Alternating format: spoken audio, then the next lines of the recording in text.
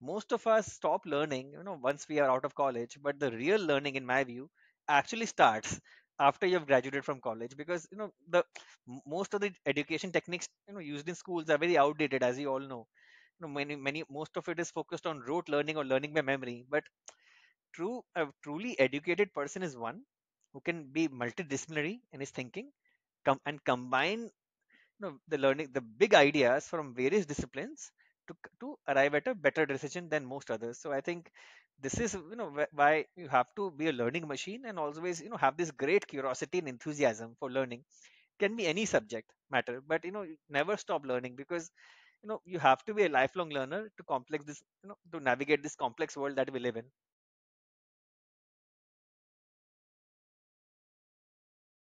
welcome back to the Book Thinkers Life Changing Books podcast. Last time you were on, you covered a lot of your background with Nick. So today I'd like to talk about your newest book, and I'd love to get into some maybe details about investments, what they are, what some terms mean, and break down this seemingly complex world of investing.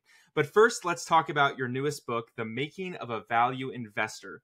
What was the primary motivation for writing another book? So the actual inspiration from this for this book came from a tweet on Twitter on 26th August 2022. So one of my followers, he actually recommended to me, why don't I publish my thoughts into a you know into a book? Because I always used to talk about the benefits of an investment journal in various tweets and posts on LinkedIn, and people used to say, why don't you post your or publish your private journal into a book? So I just thought of the idea to be very interesting. And shortly there shortly thereafter i started work on the book. It took me around 12 months to finish uh, writing it and just cleaning up cleaning up all the journal entries and making it readable. And uh, the book was released uh, in october 2023 so that was the basic genesis of the book. And it is my personal belief that journaling as a practice be it an investor or non-investor it has got many many great benefits if i speak about myself I've gotten to learn a lot about myself and improve both as an investor and an individual.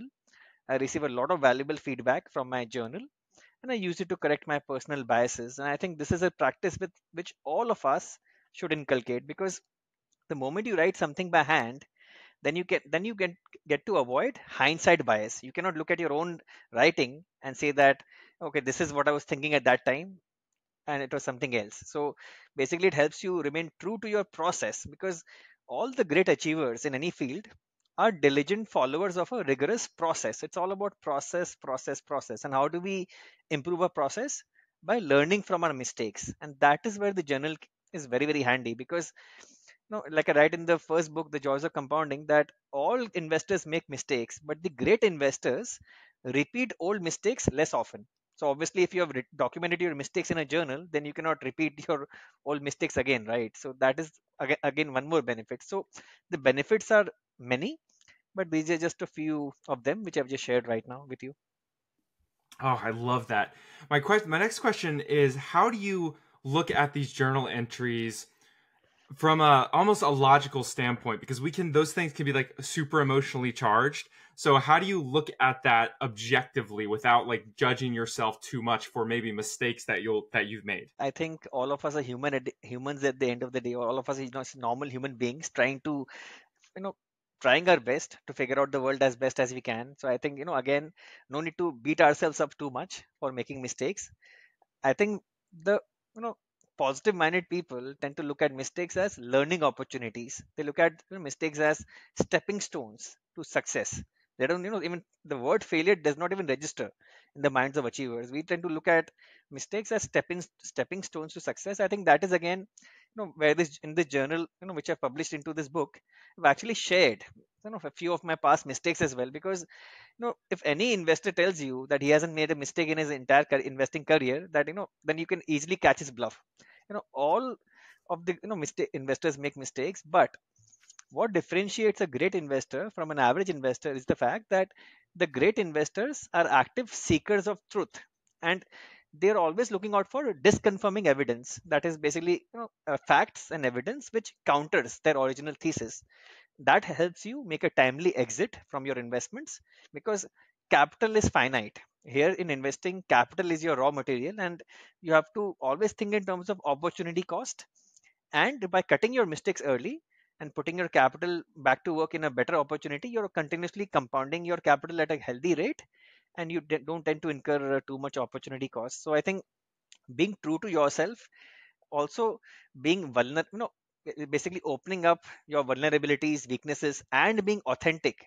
These are the key success attributes in any profession, especially if you're an author. I think it greatly helps you connect with your readers because like uh, one of my you know investing mentors ian cassel says that you impress people by your successes but you connect with people through your struggles so basically you know that is the whole idea of being very open and honest when writing this journal and publishing it. One of the books that i read right before yours uh, was simple wealth inevitable wealth by nick murray. And one of the things that that book taught me and your book teaches me as i get as i get to read your personal journal entries is that successful investors operate from a place of logic and like you said an achieving mindset not a reactionary place of emotion. So i'm curious outside of just studying investing related material like what practices do you have or do you participate in what routines do you have that center you and keep you operating from a place of logic and less emotion? I think one of the best ways to manage one's behavior and be as rational as possible in today's digital age where there is so much information overload is to cut off yourself from social media as much as you can from all the noise around you because increasingly it is becoming difficult to separate the signal from the noise so how do you do that basically deep focus a long attention span reading long form articles, reading books, and thinking for yourself. I think these are the habits to inculcate. And basically, you how do you do that? Basically, you know, you you have to shut off this electronic media all around you because it is so stimulative. Know, it's all you know the way social media works. They want to consume and capture most of our personal time and attention. So we have to be really disciplined to basically cut ourselves off basically for example switch off the mobile internet on your phone basically you know keep your phone in a different in a different room when you're working in your office room at you know in your office room then basically just try to cut out cut out as much digital noise as possible it's not easy because you know we get so much dopamine kicks you know when uh, anyone likes uh, our you know post on linkedin or twitter or retweets or reposts our content we get we, you know social media is deliberately designed to give us a lot of dopamine kicks and that keeps us engaged and hooked on to the platform for a, a lot of time. That's so that advertise, advertisers can actually push their advertisements to us and you know, sell their products and services. But you know people who know how this game is being played they are much more rational. So the first step to actually improving your routine is to be aware of what's actually happening around you i think uh, you know all i think i highly recommend a documentary on netflix called the social dilemma. Everyone should read should see that documentary to see that just how addictive social media has become. And anyways cord cutting is in place so cable cable tv is not not that much of a distraction. But you know, just by these simple practices you can greatly improve your your attention span. In addition to this i think practicing mindfulness and practicing you know light uh, meditation every day by just focusing on your breath and also just you know getting your you know basic thoughts in place and becoming self aware this is also a very good uh, way to you know focus on what matters every on a daily basis. And over time all these good practices compound. So basically you know in joys of compounding also I've talked about compounding good habits in which i talked about meditation as a very good uh, practice to you know practice on a daily basis. So these are just you know few of the things i would recommend to just to get you know get your house in order and focus because focus is the key to success in any profession. Do you think that it's important to get your mind right before you start any kind of investment? Like is that an important step in the process to investing? Like get your mind stuff right get the distractions out of the way and then you can focus on this thing that we call investing. That is the most important step. In fact it's not you know it's not a you know insignificant thing. It is the most significant step in any profession get your mind clear. Clarity of thought clarity of purpose clarity of thinking is all important in any profession more so in investing because in investing basically all the work is being done inside our minds right? And in this profession information edge is no longer available. Everyone has got access to the same information because of the internet. What differentiates a great investor from an average investor? It is the analytical edge and how better you are able to process the current information better than the others. So you can only do that when you're you have clarity of mind and that is why training your mind. Now the mind can be trained to function much better. If you can train your mind to be more rational to be more logical to be more objective then you can you know have a definite edge over most other investors. Yeah there's a, a quote from the beginning of your book that i had highlighted which said and this is an entry from your journal it said i am noticing that the frustration index has shot up everywhere and people are becoming very aggressive on social media we need to stay calm and keep progressing in this journey and social media is not helping many as i can see and so it sounds like when there is a bear market, people just get aggressive on social media. And so it's important, like you said, to keep the rational mind. I'm curious, like, what are your social media consumption habits? It, it sounds like X or Twitter is probably your primary focus, or is it LinkedIn? How, how do you navigate social media? It's both of uh, X and LinkedIn, but uh, basically, I've, I've I've curated my list of people whom I follow very very carefully because you know on social media you'll get both two sets of people one is the positive set of people and one is the negative set of people so cut out negativity from your life as much as possible focus on people who are much more positive minded and who are actually adding value to the audience instead of you know those people who are just posting clickbait articles you know to, to gain more followers. So i think people who con- post good content just try to follow them as much as you can. And that is basically how you how you will always consume very good value add information. So that is the basic practice on both x and linkedin which i follow yeah i tell you what that is one of the best strategies for social media is trying to get your feed full of valuable things because it's there and positive people instead of all the clickbait and there's a lot of negativity on social media and you have to do a really good job at like curating yourself and curating that stuff i'd love to ask you maybe you can describe a little bit about what a bear market is, maybe versus a bull market, because those are things that we hear. And I feel like a lot of our audience might not understand those terms that well. So maybe you can describe those a little bit and then we can talk about what bear markets have taught you about investing. Well, in the finance world, a bear market is termed as, uh, you know, basically a, a, situation when the primary ind- indices, for example, in the US, we have the Dow Jones and the S&P 500 and the Nasdaq. If any of those indices fall more than 20%, technically that is known as a bear market. But there is one more important condition for a true bear market to exist. The bear market has to be very long. So, for example, in March 2020, the S&P 500, the Nasdaq, and the Dow fell 30-35% each in a single month. But the recovery just happened in the next three months. So before you could even realize a what a bear market feels like, you are already back to all-time highs again. So a bear market both has to be deep in its magnitude in terms of the stock price falls, and it also has to be very lengthy, at least you know a, a you know, couple of years. So this bear market, which I've talked about in this book, uh, took place in India from January 2018 to March 2020. It was 27 months long, so it was excruciatingly painful. And bear markets generally come to an end when the last bull or the last bullish voice on the street has given up and there seems to be no hope in sight but as we always uh, you know hear the saying that it is always the darkest before dawn basically that is when a new the seeds for a new bull market are sown the foundation for a new bull market is laid and that is you know how investors make the really big money because you get great buying prices only during a crisis. Good news and good prices in stocks never come together. So you have to have the faith that this too shall pass. And you and how do you develop that faith and conviction? By being an ardent student of history especially financial market history.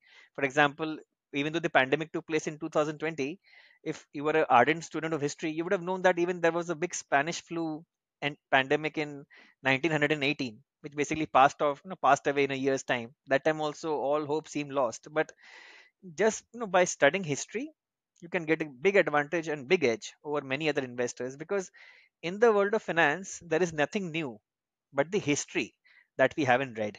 So, you know, just be aware of history as much as you can. Such great advice. Um, I was curious, this is kind of like an off the cuff kind of question, but I was just thinking about this as you were talking. If you were starting out and you only had, let's say, a hundred bucks to your name, a hundred dollars to your name, none of the connections, but all the knowledge, where would you, where would you start? Where would you begin? uh, talking about investing in stocks or buying books with that hundred dollars? Oh, I mean, let's uh, maybe both. Which is which is better? I mean, if you only had hundred dollars to name, would buying the books be better than trying to invest in stocks? Anytime books, because like I, the first chapter of the Joys of Compounding title goes, the best investment you can make is an investment in yourself. Invest in yourself first. So in the in this making of the value investor, also I've talked about this that in the initial phases of your life, focus on your career, focus on building your cash flows, and then save to invest. Most people do the opposite. They focus on portfolio building and their careers later. No, focus on your career first, focus on your business first or job first, have the cash, build the cash flows first, then invest.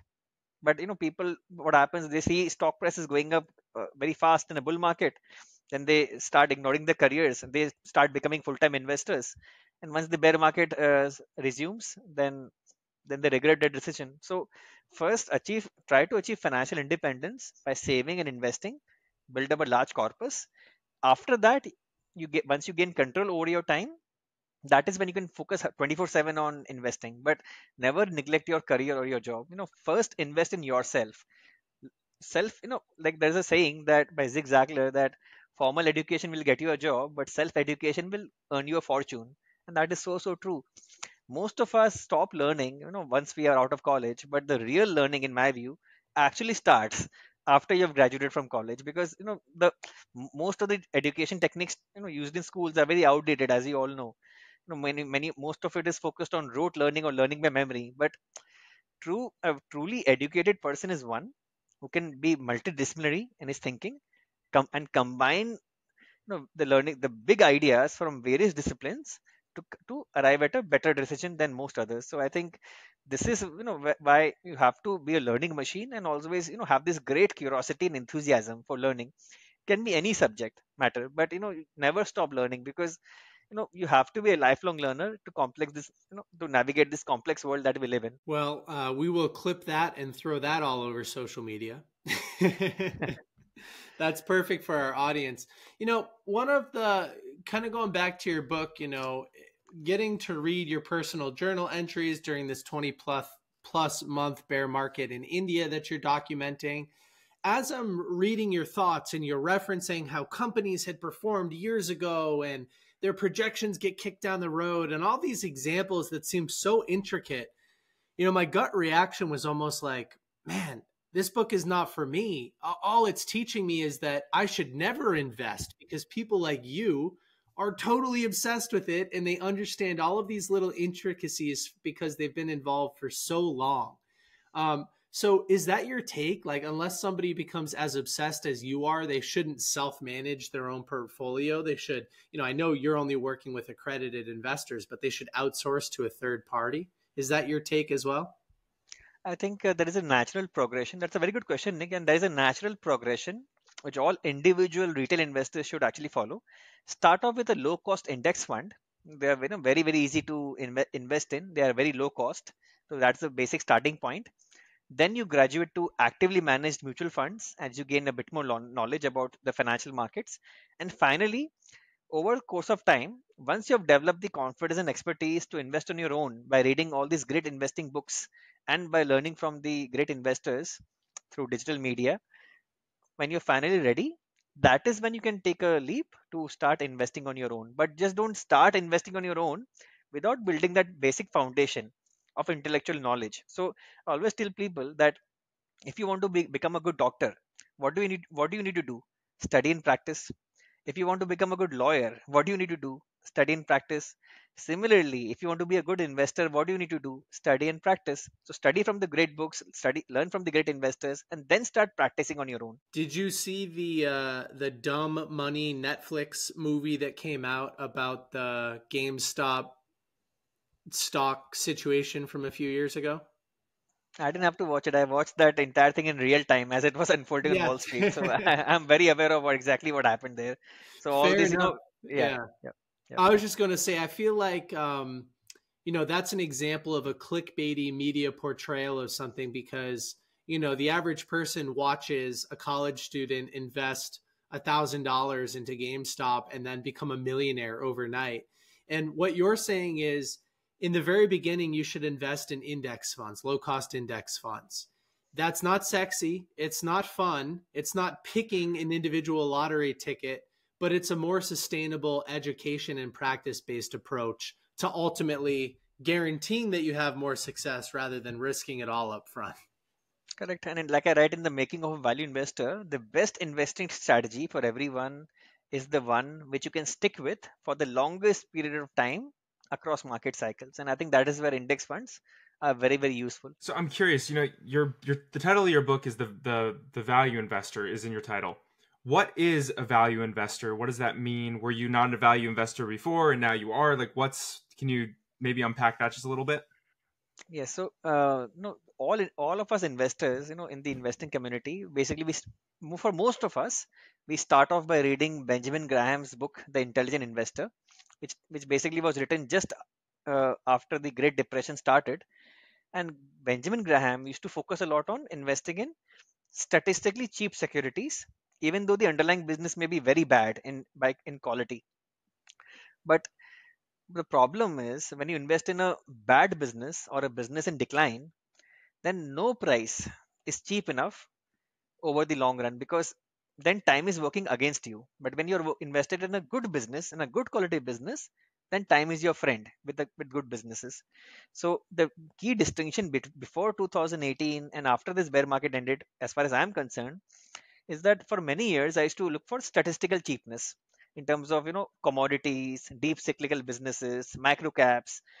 And I was very fortunate that during the 2014 to 2017 bull market in India, these kind of you know, stocks of bad businesses also you know rose up, rose up a lot, and I was able to make a good good sum of money. But it was only after I experienced this bear market of two years and three months that I realized that you may make temporary paper profit in a large in a large sum uh, during a raging bull market, but sustainable wealth is created over the long run only by investing in high quality businesses. That was my biggest learning from this particular bear market. That is basically where the title comes from, the making of a value investor.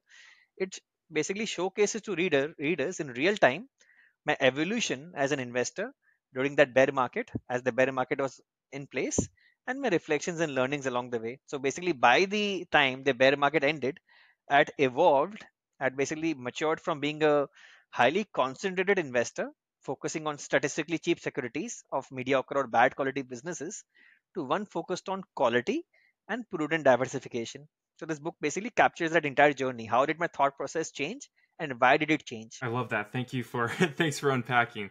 Now, I'd love to ask a little bit about the future. Where do you see the market headed in 2024, maybe in 2025? I know like you might not be able to make perfect predictions or anything like that, but what is your what is your opinion about what we're going into? Because I mean I hear a lot of talk about market crashes and depressions and you know recessions. Those things are always coming up. So what are your thoughts around that? So you know it's very interesting you asked me this question. Just uh, last month uh, during my semi-annual uh, zoom meeting with my investors in my india fund here i was talking to them about you know there was a slide titled the biggest risk in 2024 and that entire slide slide i kept it blank. Why why is that so? Because a black swan is basically basically an, an unex- it is an unexpected event of very large magnitude which has a profound impact on society nation and you know individuals. And by definition it cannot it cannot be predicted in advance. Then i showed my uh, fund investors uh, an, uh, the cover story from the economist magazine in december 2019 which listed out a, a long list of items of risks for 2020 like uh, trump brexit you know artificial intelligence etc none of them included covid-19 so covid-19 in 2020 turned out to be the biggest risk which no one was talking about in december 2019 just a few months ago. So i've come to the realization that basically the world the future by definition is unknown and how do you deal with this uh, situation of unknown unknowns the only way to deal with that is by uh, for, you know having a policy of prudent diversification, basically a portfolio of 20 to 25 stocks diversified across industries and risk factors.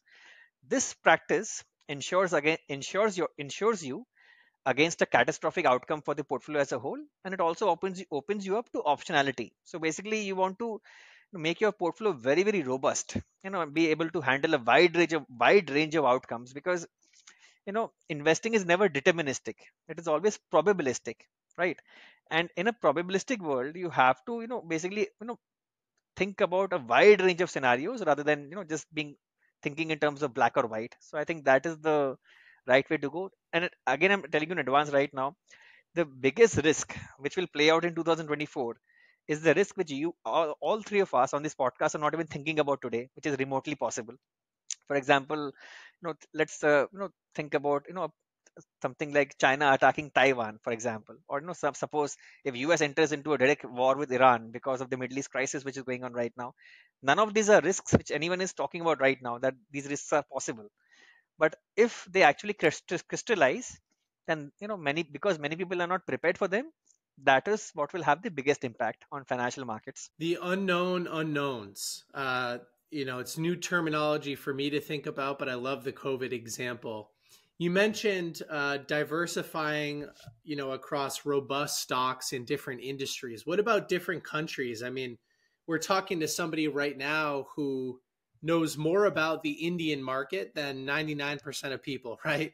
So over here in the us and you hear things like the indian middle class is larger than the entire population of the us and you know there there's a lot of industry and growth and boom happening. So I'm just curious, how does the average person diversify across multiple countries, right? Because India isn't going to get into a war with Iran. At least we don't think that they are, right? So I'm just curious, like, how does that factor into your decision making? And, and should the average person be considering diversifying across countries? I think many investors and individuals suffer from what I call a what I call a home country bias. Because of our comfort with investing in our home country we tend to ignore uh, you know what is happening in countries across the world. But the best performing stock you know some of the best performing stock markets in the last 12 to 18 months have been outside the us you know, the us has done very well no doubt recovering from the 2022 bear market. But japan and india have also performed very very handsomely. So i think you should always diversify not put all your eggs into one basket and in my view today, the best stock markets in the world are three. The US, because of its you know, entrepreneurship and creativity and the huge focus on technology. So you'll get the technology S curve growth in the US. Jap- Japanese equities offer you deep value, cheap valuations, high dividend yields, and a country which is coming out of a decadal bear market. So you'll get a lot of delta, a lot of positive change in earnings there. And India, because of its you know various uh, strong structural positive attributes, I think it's got a long growth run- runway for the next 20 years. And over the long run, corporate earnings in any country follow nominal GDP growth. So in India, you have got a real GDP growth of 6%. You have inflation of four and a half, four and a half to five percent. So you're having nominal GDP growth of double digits in India. So over the next uh, you know, many years, you'll at least get corporate earnings growing in double digits. So I think you know over the long run we all know that stock prices follow earnings growth. So i think uh, you know double digit earnings and uh, returns from the indian markets are, are a very realistic and reasonable expectation. Tell you what that's like such a that's just a thing that even like talking to friends and everything about investments like very rarely do people bring up other countries. And you're right like we get stuck in our little comfort zone and forget that there's this whole world out there of investing and of places to invest. Now in the book you talk about that uh, you also written about like fundamentals aren't exactly what decides the price of a stock. So can you maybe explain that a little bit, like expound upon that? Correct. So fundamentals decide the or determine the long-term intrinsic value of a stock, but they did not, but they, but it does not determine the current stock price. That is driven by supply and demand, and supply and demand for any stock is in turn driven by the prevailing investor sentiment. And there are two ways, basically, how investors can judge prevailing investor sentiment. The first way is by looking at the IPO market, initial public offering, IPO market. There are three stages of IPOs. During stage one, good companies come out with IPOs, their IPOs at reasonable valuations. In stage two, basically good companies come out with IPOs at very expensive valuations. And in stage three, loss making companies, bad quality companies come out with IPOs at ludicrously high valuations or upset valuations. And they are also oversubscribed in large numbers by retail investors whose presence in the markets is a late cycle indicator. So basically, whenever you see very high levels of margin funding and very high retail participation, you know that you are in the uh, you know last stages of last stages of a raging bull market. So these three stages basically help you determine you know what is the prevailing investor sentiment. And the second way to judge prevailing investor sentiment is by looking at the quality of stocks being discussed on WhatsApp groups or, or X. In generally during a, as the bull market matures, investors tend to move or shift from good quality stocks having higher returns on equity to inferior quality, inferior management and business quality stocks having higher revenue growth. Then they shift to commodity and cyclicals. Then they further shift to loss making companies which are turning around. They're basically hope stories. And then uh, investors further move down the quality curve to micro caps with a limited history of operations. And finally, they move to highly leveraged companies with projections of rapid revenue growth and negative operating cash flow. This is when the bull market normally tops out. And by the end of the euphoric phase, most investors' portfolio have only junk stocks left in them. So basically, avoid that mistake. You know, this by writing this book, what has happened is now at least I'll be very disciplined not to go down the quality curve in a bull market in search of quicker returns.